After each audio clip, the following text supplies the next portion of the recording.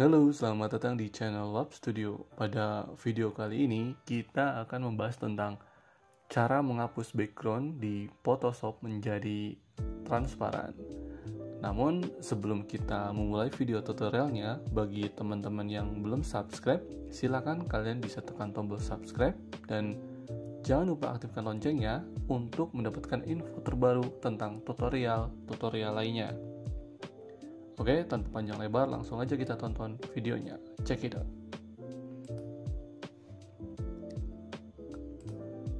Yang pertama kita buka Photoshopnya ya, lalu buka foto yang akan kita hapus backgroundnya dengan cara klik file, lalu open, lalu pilih objek atau foto yang akan kita hapus backgroundnya.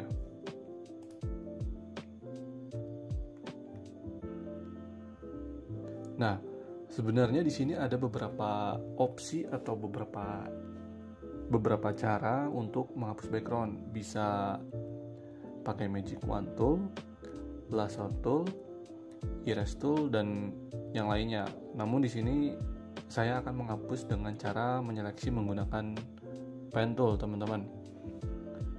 Oke, sebelum kita menyeleksi, kita duplikat dulu fotonya dengan cara klik layar lalu Ctrl C lalu kita nonaktifkan layer background.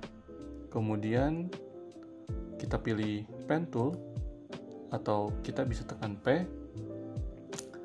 Nah di sini ada modenya mode pad dan shape. Kita pilih pad dan jangan lupa kita checklist rubber band Oke, langsung aja saya akan menyeleksi objek yang akan kita hapus backgroundnya.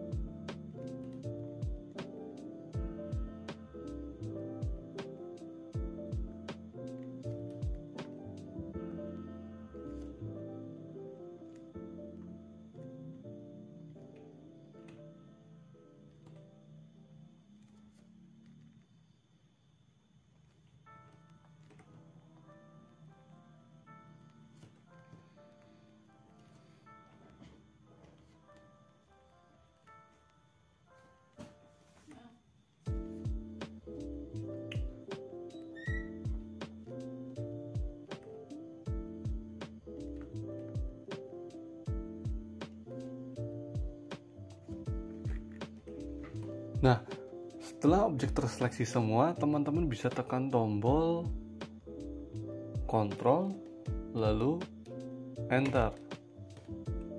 maka akan terdapat garis-garis putus pada objek yang akan kita seleksi.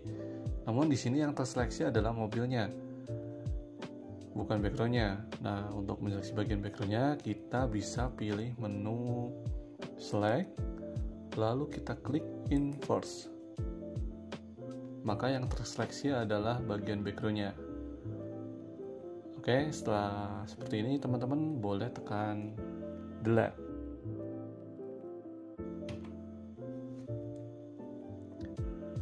Nah, sekarang backgroundnya sudah terhapus dan menjadi transparan.